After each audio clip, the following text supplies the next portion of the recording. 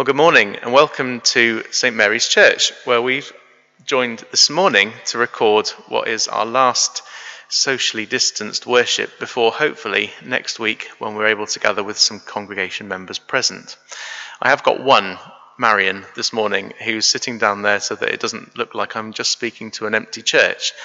And she'll be uh, leading us in some prayers later after Jo has uh, spoken and shared God's word with us. So, our reading this morning comes from Romans chapter 8, beginning at verse 12. So then, brothers and sisters, we are debtors, not to the flesh, to live according to the flesh. For if you live according to the flesh, you will die. But if by the Spirit you put to death the deeds of the body, you will live. For all who are led by the Spirit of God are children of God. For you did not receive a spirit of slavery to fall back into fear, but you have received a spirit of adoption. When we cry, Abba, Father, it is that very Spirit bearing witness with our spirit that we are children of God. And if children, then heirs, heirs of God and joint heirs with Christ. If in fact we suffer with him, so that we may also be glorified with him. I consider that the sufferings of this present time are not worth comparing with the glory about to be revealed to us. For the creation wakes with eager longing for the revealing of the children of God. For the creation was subjected to futility, not of its own will, but by the will of the one who subjected it in hope that the creation itself will be set free from its bondage to decay and will obtain the freedom of the glory of the children of God. We know that the whole creation has been groaning in labor pains until now, and not only the creation, but we ourselves, who have the first fruits of the Spirit, groan inwardly while we wait for our adoption, the redemption of our bodies. For in hope we were saved. Now, hope that is seen is not hope. For who hopes for what is seen? But if we hope for what we do not see, we wait for it with patience. Five. Bodies. Sometimes you feel like you can't live with them. But the question is what would we be without them? It's clear that to society in general, the physical matters. Beauty treatments, wardrobe overhauls, cosmetic surgery, from body shaming to body idolisation and back again. This world says the body matters. And not just that it matters, but that it should be up there on top of our priority list. To look and feel good in your own skin seems to be one of the holy grails of life, according to society. But is the body, how we look and how we function, that big of a deal if we look with an eternal perspective? Even if we hypothetically reached our dream goals of health and beauty, would we really find deep satisfaction? C.S. Lewis, the Christian writer and theologian, once wrote If we find ourselves with a desire that nothing in this world can satisfy, the most probable explanation is that we were made for another world. If we did get to that place where we were totally happy with our bodies, no illnesses, no extra pounds, no signs of aging, if we did get there, would we actually find fulfillment? What we heard in our Romans reading just now would seem to follow this pattern of thinking. We are no longer slaves to our bodies, but rather we are free to live as the children of God. And we are experiencing now the longing for the time when the redemption of our bodies will be made complete. Our bodies aren't the only forms of physical matter raised in the reading, though. The rest of creation is part of the picture, too. At present, being found in a futile state of cycles of life and death. Some of this is part of the natural order, and some is added to by human efforts. We see examples of this bondage to decay everywhere we look. See it with fledgling birds picked off by predators, and sorry to any cat lovers. Diseased trees, cancerous cells, parasitic worms, beaches awash with discarded wrappers and disposable face masks. If this was all we saw, it would be enough to condemn creation to ruin. But this is not the final word. The whole created order, every last atom of it, is waiting, longing, groaning. The literal translation of the original text for this eager longing means to stand on tiptoe and strain to see what's ahead. The creation is waiting alongside us for redemption. Not that the physical will be done away with. No, creation, like ourselves, is inherently physical.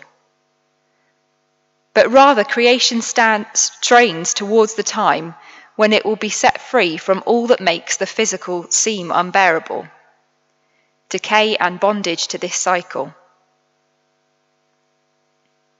And what are we hoping for?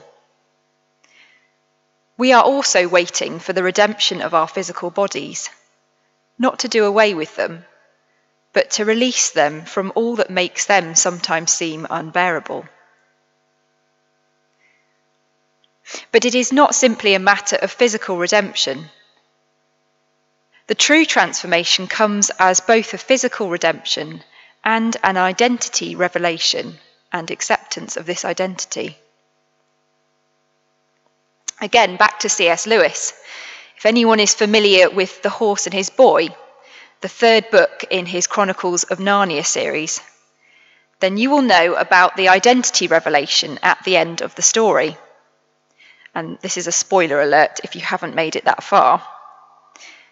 Shasta, the humble protagonist and supposedly orphan slave boy, turns out to be the long lost and much loved Prince Kor, son of the King of Archenland and heir to the throne. Yes, Shasta does get some new clothes and a bath to go with his newfound royal status. But it is the revelation of who he is and whose family he belongs to that is the real big reveal moment. Our bodies are caught up in the bondage to decay, but we have the hope and the promise that they will be redeemed as part of the revelation of who we are, or rather, whose we are. And this beautiful broken world, which we call home? Well, that is actually waiting not just alongside us, but for us. Our acceptance of our adoption as children of God is not just for ourselves, but for the whole of creation.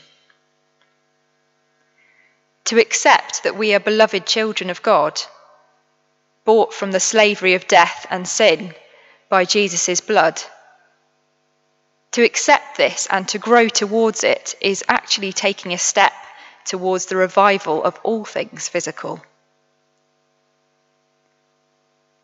So, yes, the physical does matter.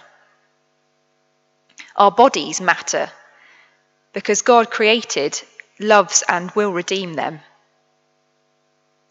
But our bodies are not what our hope is based on or where we find our identity.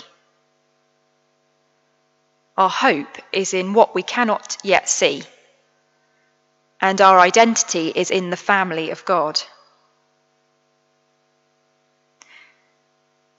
Pondering all this, then, I wonder where we are today. perhaps we're feeling much more like a body subject to decay than an adopted child of God. Perhaps we're not at peace with the way we are and what motivates our daily living. Maybe we're hopeful and expectant, looking out for the signs of the new creation budding in amongst the old.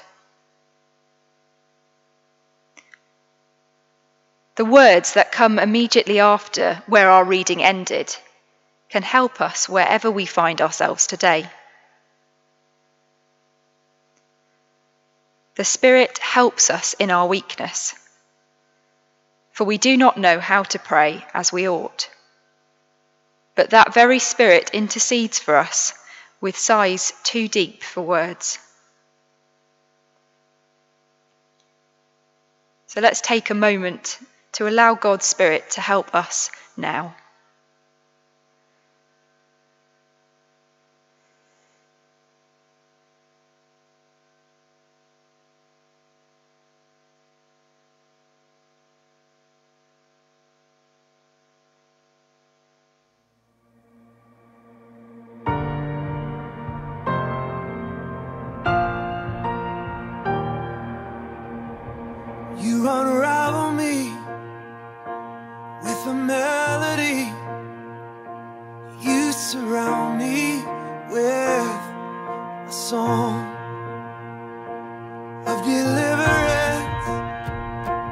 from my end.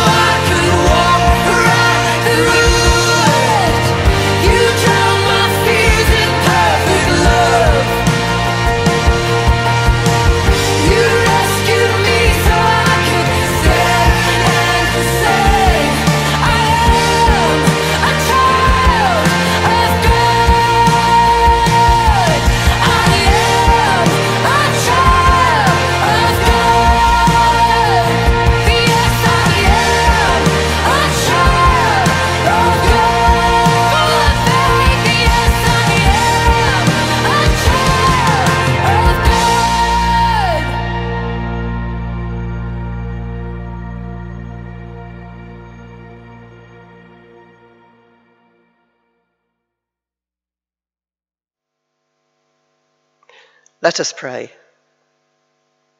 Lord, we give you thanks that we are free to come to you with our prayers today. All who are led by the Spirit of God are called the children of God. So we ask that you teach us your ways, that we may walk in your truth, be open to your call, and ready to be your disciples where we live. We pray for your church throughout the world. May we all be ambassadors of your love for all people. We ask for your blessing on all people throughout the world, especially those who suffer persecution for their beliefs. We give thanks for our church here in Berrow and Brean, for the fellowship and love which has continued even through these difficult times.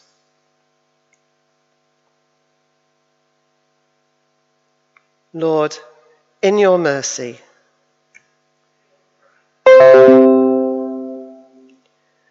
we pray for areas throughout the world where there is unrest, violence, and poverty. Be with those who strive to bring an end to these problems. We long for governments in all countries to work together for the good of all people, so in time all may live in just and free societies.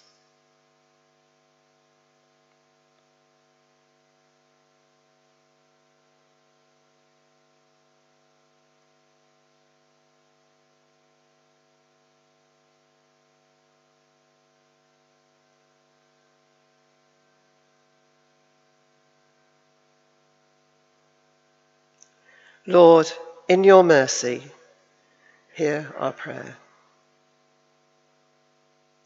We pray for our local community here in this area and give thanks for all who have continued to work throughout the lockdown period.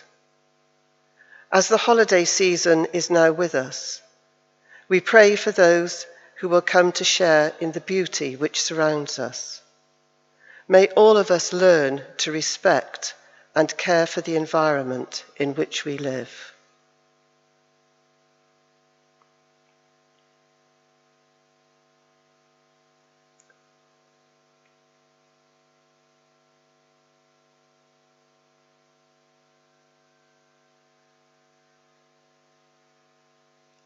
Lord, in your mercy, hear our prayer.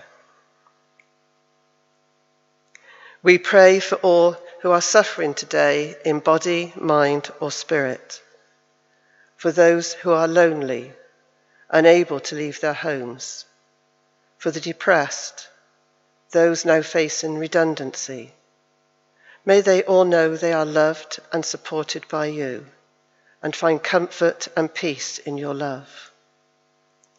We bring before you also all those who are suffering from the coronavirus, their families, friends, and those who are caring for the sick at home at this time. And in silence, we bring before you those known to us.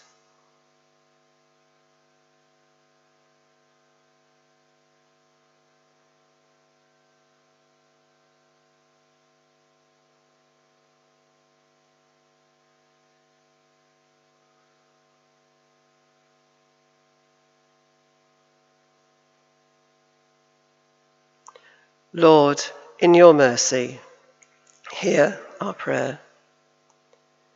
We remember all who have lost their lives over the past four months due to the virus and also due to other illnesses. So many families grieving and feeling isolated in their grief as restrictions often stop families coming together. Lord, may they know your love and protection surrounds them and guide us to care where we can, and when unable, to bring them to you in prayer.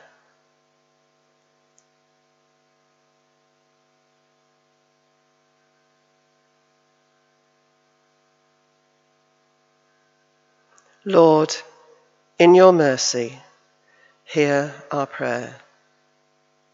We pray for the will to live in the Spirit of Jesus now and always and as he taught us, so we pray together. Our Father in heaven, hallowed be your name. Your kingdom come, your will be done, on earth as in heaven. Give us today our daily bread. Forgive us our sins, as we forgive those who sin against us. Lead us not into temptation, but deliver us from evil. For the kingdom, the power, and the glory are yours, now and forever. Amen.